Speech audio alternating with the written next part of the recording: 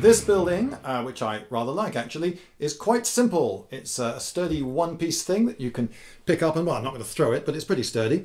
Um, uh, the main walls, the uprights, are made out of foam core, board if you prefer. It's a plastic foam sandwiched in between two thin layers of card, and you cut that, uh, I did it pretty much by eye, into wall shapes, and uh, I glue on little lintels and sills. They're just rectangles of cardboard, but they, uh, they improve the windows quite a bit. And uh, then I paint brick red and grey in the cross section. Um, white walls look quite good, but and uh, black streaks coming up the windows, suggesting that the uh, building was on fire at some point. And uh, you may notice that I've got wallpaper on the inside various different designs, but they're scaled to 172nd scale. You can download these uh, wallpapers for free from my website. Now then, how did I do all the rubble? Wasn't that a huge amount of work? Well, actually, no. Um, that is, it wasn't much work once I'd created the molds. Because what I did is I made a load of molds like this. You see, that's an outside corner mold, and it's sitting in its uh, mold support.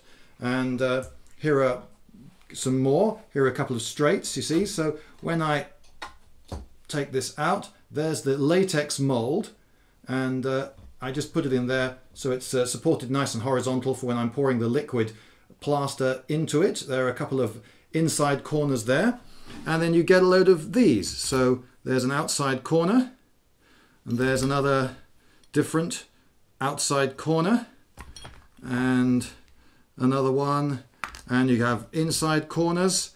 And something which you get for free is uh, these small ones. Because when you fill the mold you can just partially fill the mold. And so you just get the top of some other shape. And so you get something that looks different but it's actually a cheat. It's just the top bit of another one of your molds.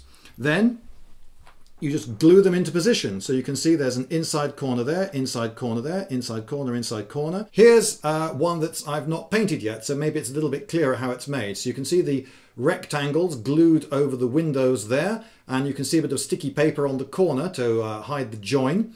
And you can see there's a straight casting there, and there's another straight there. And here I've got a corner that's made out of three inside corners joined together. So if you make inside corners only, uh, you get effectively inside and outside corners. And there's an outside corner there, and there's the same outside corner but glued on the inside of the building because there's a little bit sticking into the building. Uh, the main texture of the base is our old friend brown acrylic mastic. And uh, I've thrown a few little bits of cardboard and cat litter and matchsticks and so forth in there to uh, just create a little bit more rubble texture. And that'll paint up very nicely. Um, British viewers of this video may recognize what this lamp is. It's the stem of a Remembrance Sunday poppy. Perfect for a street lamp, although one sticking out the side of a building. One of the joys of making terrain for World War II wargaming is that if something goes wrong, you can perhaps turn it into a ruin. Uh, I'd read some instructions on the interweb of how to use Linka molds to make curved castings. Uh, essentially, you wrap the mold around something cylindrical, like an aerosol spray can. Uh, but as you can see from this, I didn't have much success. In fact, I, from the looks of it, I didn't get a single casting to come out perfectly.